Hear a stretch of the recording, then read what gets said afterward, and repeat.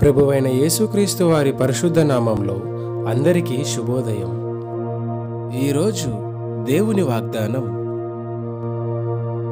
కొందరు ఆలస్యమని ఎంచుకున్నట్లు ప్రభువు తన వాగ్దానమును గూర్చి ఆలస్యము చేయవాడు కాడు గాని ఎవడును నశింపవలనని యోచింపక అందరూ మారుమనసు పొందవలనని కోరుచు మీ ఎడల దీర్ఘశాంతము గలవాడై ఉన్నాడు.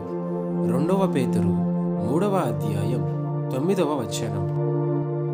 Today, God's promise. The Lord is not slow in keeping his promise, as some understand slowness. Instead, he is patient with you, not wanting anyone to perish, but everyone to come to repentance. 2 Peter chapter 3 verse 9. తండ్రి కుమార పరిశుద్ధాత్మ నామమున ఈ దినపు వాగ్దానం మీ పట్ల నెరవేరునుగాక amen